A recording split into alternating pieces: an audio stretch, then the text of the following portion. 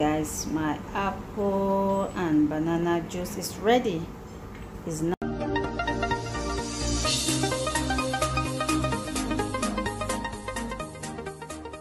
hi guys. Good day. How are you guys doing? Oh fine. Today on this video guys i will be making banana and apple pear juice.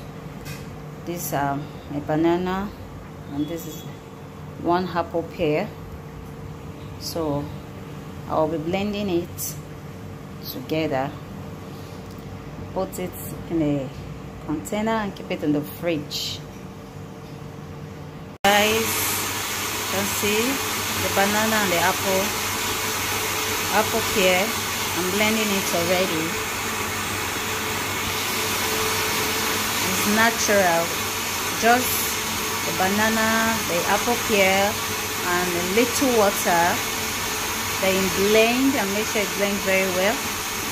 After that, you put in a container and keep it in the refrigerator. Guys, my apple and banana juice is ready. It's natural. There is no sugar on it. Oh my god, tastes very nice, guys so guys hope you love this video. You can use it. To take your breakfast your lunch your dinner anytime. It's very edible. It's healthy it's good for the health. So guys try this juice out. Hope you like this video.